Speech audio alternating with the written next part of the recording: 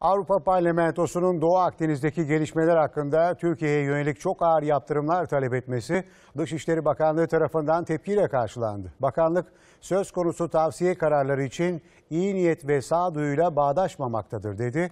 Avrupa Parlamentosu'nun saygınlığını yitirdiğini dile getirdi. Avrupa Parlamentosu bu kez Doğu Akdeniz için toplandı. Türkiye konulu oturumda Türkiye ile AB arasında Doğu Akdeniz politikaları nedeniyle yaşanan kriz ve yaptırım konusu ele alındı. Avrupa Parlamentosu Türkiye'ye sert yaptırımlar uygulanmasını, Türkiye ile üyelik müzakerelerinin kesilmesini, yardım fonlarına son verilmesini ve silah satışının durdurulmasını talep etti.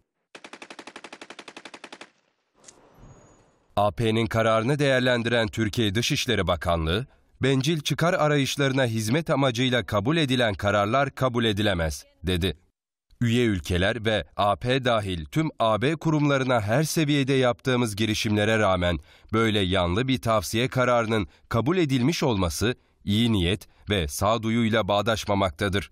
AP, bu taraflı ve haksız tutumuyla ve yetkisi olmadığı deniz hukukundaki geçersiz ve tek yanlı yorumlarıyla saygınlığını yitirmektedir.